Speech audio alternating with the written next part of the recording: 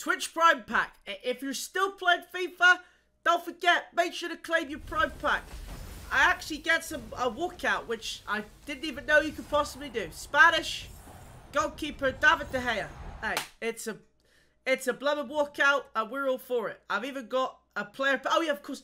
What am I about? Yeah, Twitch Prime player pick. One of four players. You might get something good. You might get Denis Zakaria.